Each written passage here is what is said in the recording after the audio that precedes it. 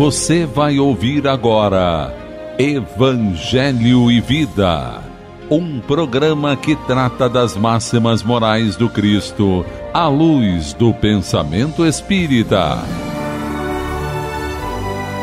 Produção e apresentação Henrique Fernandes. Elevei meu olhar para ti, ó Eterno, e me senti fortalecido. És a minha força, não me abandones, ó Deus. Estou esmagado sob o peso de minhas iniquidades. Ajuda-me. Tu conheces a fraqueza de minha carne e não desvias teus olhos de mim. Estou devorado por uma sede ardente. Faze brotar a fonte de água viva e me dessedentarei. Que minha boca só se abra para cantar teus louvores e não para murmurar das aflições de minha vida. Sou fraco, Senhor, mas teu amor me sustentará. Ó Eterno, só tu és grande, só tu és o fim e a meta da minha vida. Seja bendito o teu nome quando me feres, pois és o Senhor e eu o servo infiel. Inclinarei-me à fronte sem me lamentar, pois só tu és grande, só tu és o alvo. Amigo ouvinte, começa agora o programa Evangelho e Vida. Eu sou Henrique Fernandes e é com grande satisfação que estou aqui para falar de um tema que está nas páginas da obra O Evangelho segundo o Espiritismo, de Allan Kardec. O tema refere-se à humildade na relação com Deus. E a sua fundamentação está no capítulo intitulado Bem-aventurados os pobres de espírito, mais exatamente nos itens 8, 9 e 10. Nós começamos o programa lendo uma oração que está na mesma obra, o Evangelho segundo o Espiritismo, no último capítulo, que tem uma coletânea de preces, e essa prece em particular nos fala dessa relação direta do homem com Deus, como este ato de submissão e de resignação. A relação do homem com Deus há que ser uma relação de simplicidade, de humildade. Como diz a oração, elevei meu olhar para ti, ó Eterno, e me senti fortalecido. A relação do homem com Deus nos fortalece, nos dá um alento. É se sentir abraçado por um pai, por uma mãe, porque tu és a nossa força, como diz a prece. Não me abandones. Sinto-me esmagado sob o peso de minhas iniquidades. Ajuda-me. Tu conheces a fraqueza de minha carne e não desvias teus olhos de mim. A prece é essa súplica, é esse pedido, é o coração aflito que se abre para Deus e conta com a sua ajuda. Porque no fundo se sente amado incondicionalmente por esse Pai. Mas o que aparece nessa oração, como em qualquer outra oração, é esse ato de se curvar, simbolicamente falando, diante de Deus. Colocamos-nos diante de Deus num ato de submissão. É um ato de humildade. Amigo ouvinte, gostaria de partir de uma referência que está no Novo Testamento e que aparece na primeira epístola de Pedro, no capítulo 5, que diz assim: Humilhai-vos, pois, debaixo da potente mão de Deus, para que a seu tempo vos exalte. E em seguida ele afirma: lançando sobre ele toda a vossa ansiedade, porque ele tem cuidado de vós. Aqui encontramos um convite a um ato de fé. A fé é uma entrega, é a abertura. E a prece é essa voz que se eleva, a voz do sentimento, a voz da consciência, a voz do coração. Pedro escreve: Humilhai-vos, pois, o que é o ato de se humilhar? Normalmente nós, dentro de uma visão muito comum, horizontal, entendemos este verbo como algo degradante, que humilha no sentido negativo, pejorativo. Eu me sinto humilhado. Não é esta a ideia que aparece aqui. Humilhar-se significa tornar-se humilde. A palavra humildade e também humilde tem a sua origem no grego, humus, que significa literalmente aquele ou aquilo que fica no chão. Associa-se também a ideia de terra fértil, de criatura nascida da terra, do chão. Essa ideia de humilde como aquilo que fica no chão, segundo penso, amigo ouvinte, define de uma forma bem sugestiva e interessante essa concepção de humildade que nós vamos aplicar à relação do homem com Deus.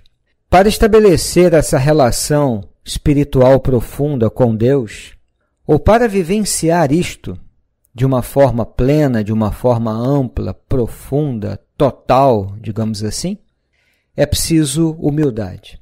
Voltando a Pedro, é necessário que nos quedemos, que nos coloquemos no chão. Essa é a ideia da humildade.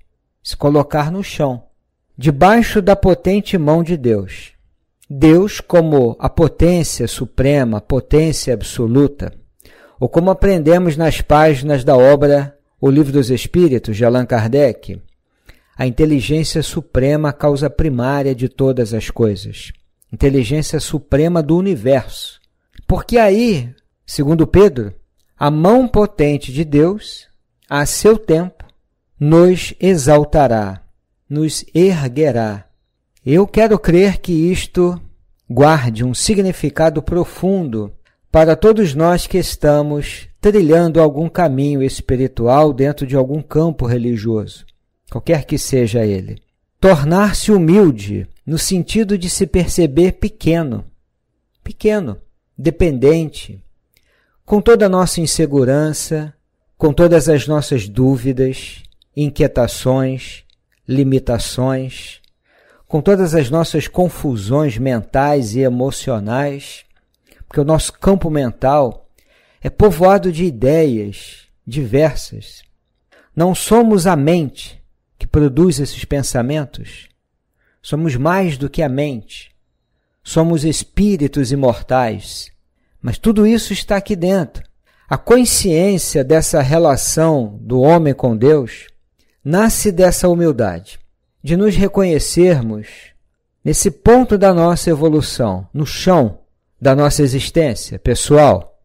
E Deus, com a sua mão poderosa, com a sua mão potente, aqui estamos diante de uma metáfora, é claro, a seu tempo, não é no nosso tempo, é no tempo de Deus, vai nos exaltar, no sentido aqui colocado de erguer, de nos levantar do chão do desespero para as alturas da confiança e da plenitude. Tanto isso parece fazer sentido que logo adiante Pedro afirma, lançando sobre ele toda a vossa ansiedade. Quer dizer, através dessa relação do homem com Deus a partir da humildade, nós podemos mostrar, revelar toda a nossa aflição, todas as nossas preocupações, inquietações, as nossas tempestades mentais, os nossos tormentos emocionais, tudo isso nós podemos colocar na relação com Deus. E por quê? Pedro afirma: porque Ele tem cuidado de vós. Quer dizer, Ele tem cuidado de você, amigo ouvinte. Ele tem cuidado de mim. Ele tem cuidado, porque cuida efetivamente de todos os seus filhos e de todas as suas filhas nesse universo. É essa certeza que a fé nos garante. Mas para que possamos realizar essa experiência de Deus, não é falar de Deus ou a respeito de Deus, é falar com Ele. A oração não fala de Deus, a oração fala com Deus. É muito diferente. não é conceituar Deus, não é pensar em Deus, até porque Deus não se reduz a um conteúdo da sua mente, da minha mente. Deus não é um conteúdo mental, é uma experiência. Difícil definir isso, porque o homem não sabe. Apenas aqueles que alcançam essa relação mais profunda, como os santos da igreja, os místicos das várias religiões, aqueles que sentem essa conexão direta com Deus, como Jesus afirmava, eu e o Pai somos um. O apóstolo Paulo, já não sou eu que vive, mas o Cristo que vive em mim. Essa experiência de pertencer a Deus, de estar com Deus, isso é difícil definir. Mas essa experiência que podemos realizar, cada um a seu modo, dentro do nível em que cada um se encontra, essa relação com Deus, é a nossa fonte de segurança, de proteção, de aconchego, de abraço profundo. Mas para isso é necessário o ato da humildade. Por isso, Jesus afirma e Allan Kardec vai comentar em O Evangelho segundo o Espiritismo nos itens 8, 9 e 10 do capítulo já citado. Bem-aventurados os pobres de espírito.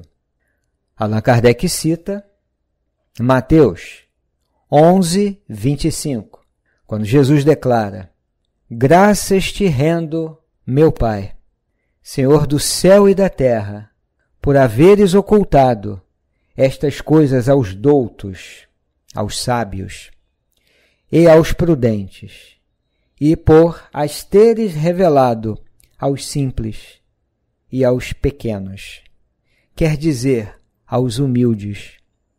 Jesus reconhece que Deus se revela não é para o poderoso, não é para aquele que detém o conhecimento apenas. Por isso ele reconhece Deus como o Senhor de tudo, quer dizer, do céu e da terra, repetindo, de tudo. E Deus se revela e se mostra e fala de si aos simples. Vamos repetir, amigo ouvinte, aos humildes, aqueles que são pequenos. E Allan Kardec faz um comentário importante. É que cumpre se entenda que os primeiros são os humildes, são os que se humilham diante de Deus e não se consideram superiores a toda a gente. Os segundos são os orgulhosos, envaidecidos do seu saber, do saber mundano, os quais se julgam prudentes porque negam e tratam a Deus de igual para igual, quando não se recusam a admiti-lo, porquanto na antiguidade, douto era sinônimo de sábio por isso, Allan Kardec prossegue, por isso é que Deus lhes deixa a pesquisa dos segredos da terra e revela os segredos do céu aos simples e aos humildes, que diante dele se prostram. É um comentário muito lúcido aqui de Allan Kardec e que penso estar diretamente relacionado ao que Pedro nos ensina. E eu repito a referência. Na sua primeira epístola, no capítulo 5. Vale a pena nós meditarmos em torno dessas informações. Amigo ouvinte, o ato de se humilhar diante de Deus revela toda a nossa honestidade, toda a nossa grandeza interior. A lógica é invertida. Isso parece tão lógico, tão sensato. Não o que eu estou dizendo, obviamente, mas o que Pedro comenta que, se prestarmos atenção ao verbo exaltar, nós vamos entender que não tem nada a ver com ego, ego inflado. Vamos ao texto. Humilhai-vos, pois, debaixo da potente mão de Deus, para que a seu tempo vos exalte. Exaltar é tornar alto, é erguer, é levantar, é elevar. Por isso, exige a humildade. Humilhai-vos aqui, vamos repetir a ideia, é no sentido de se tornar humilde, não é de ofender e de humilhar o outro, de apequenar o outro, é de se apequenar. Mas em que sentido? De se desvalorizar? Não. é de se reconhecer muito pequeno diante de Deus. Pequeno não quer dizer sem significado e sem importância. Uma pequena pedra preciosa tem muito valor, porque todos nós somos especiais. Ainda que eu não acredite nele, ele me conhece. Thomas Merton, um grande místico do cristianismo, costumava dizer que ser desconhecido de Deus é privacidade demais. É interessante isto. Não há como. Eu posso, de algum modo, me esconder de mim mesmo, do outro, do mundo, me afastar de todos, tentar passar uma imagem falsa da minha pessoa, do meu mundo íntimo. Tudo isso, até certo ponto, na dimensão psicológica, é possível.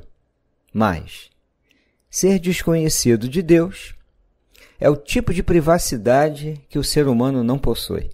Me faz pensar um pouco na relação dos filhos com a mãe, a mãe que se dedica, aquela mãe que cuida, a mãe que ama. Dá para esconder um sentimento de uma mãe? Não tem como. Imagine a nossa relação com Deus. Essa privacidade, como afirma Merton, nós não possuímos. Então, amigo ouvinte, quando Pedro nos fala que essa potente mão de Deus, a seu tempo, nos erguerá, nos levantará do chão das nossas aflições, do nosso desespero pessoal, das nossas inquietações, e quem não as tem, quem não os tem. Ele afirma de forma muito clara que é com base nisto esse é um ato de humildade, nós podemos lançar sobre ele tudo isso, todas as nossas preocupações, ansiedades, porque Pedro fala, nos garante, que ele, o Pai, tem cuidado de vós. Quer dizer, tem cuidado de cada um de nós. Deus cuida de você, de mim, de todos os seus filhos no universo. Esse é um ato de fé, como já comentamos. Mas essa dimensão do cuidado que garante a certeza de que Deus está conosco em todos os segundos da nossa vida. E é um ato de amor, como dizia João, Deus é amor. Então tudo que Deus faz tem a ver com amor. Por isso ele nos ama. E quem ama cuida. Cuidar Neste caso, é um ato de amor, como a mãe que ama o seu filho e cuida dele. Quem ama, cuida. Quem ama, ensina. Quem ama, põe limite, como num jardim. Um belo jardim não é possível se o jardineiro não estabelecer um esquema para podar adequadamente as plantas, senão o jardim, ainda que os elementos sejam bonitos, a configuração como um todo talvez não seja tão bonita. Precisa podar, colocar limite. Isso é amar, isso é cuidar, isso é orientar, é ensinar. Allan Kardec afirma na obra A Gênese que nós nos achamos constantemente em presença da divindade.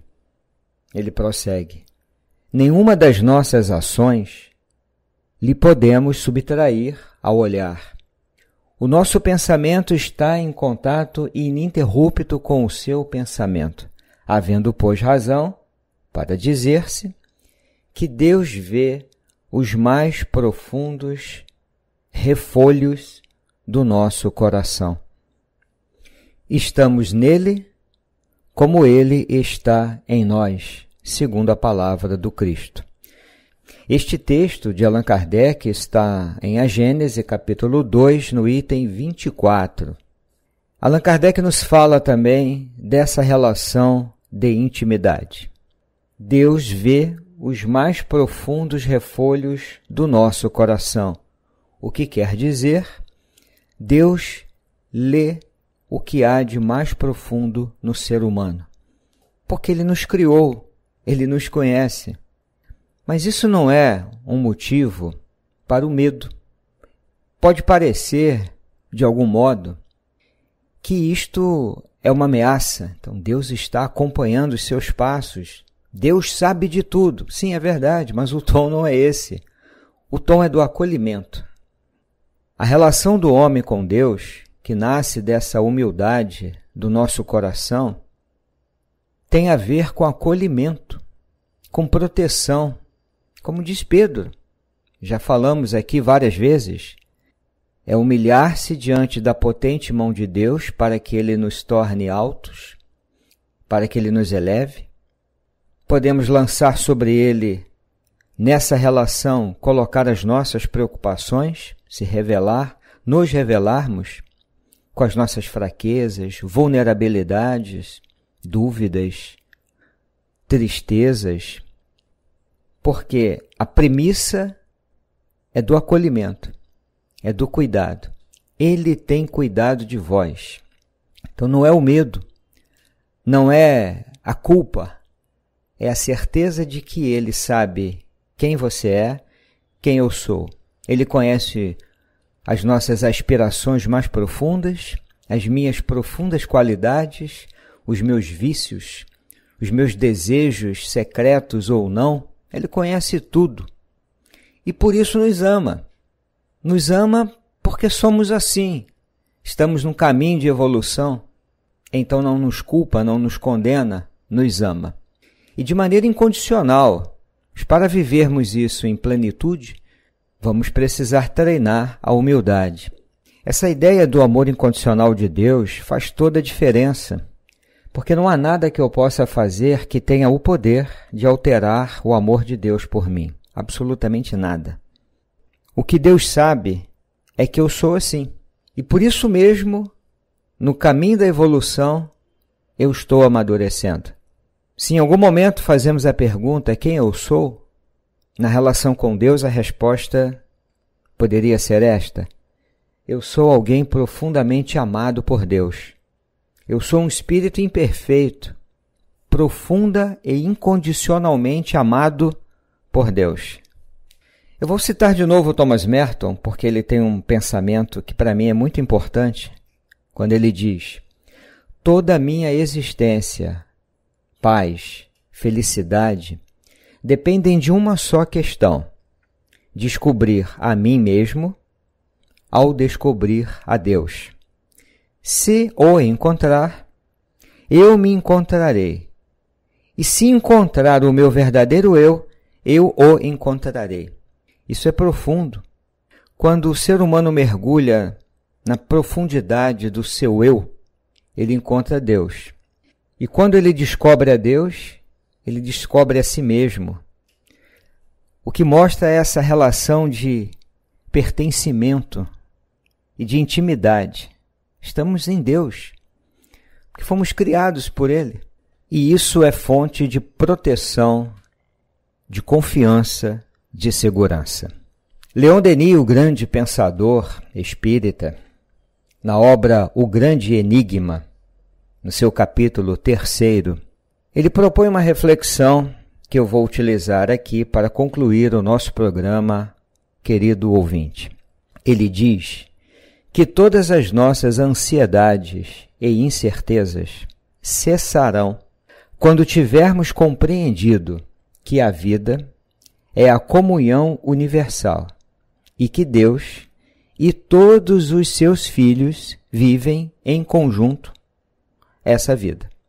É dessa espiritualidade que Jesus nos fala, que o Espiritismo propõe.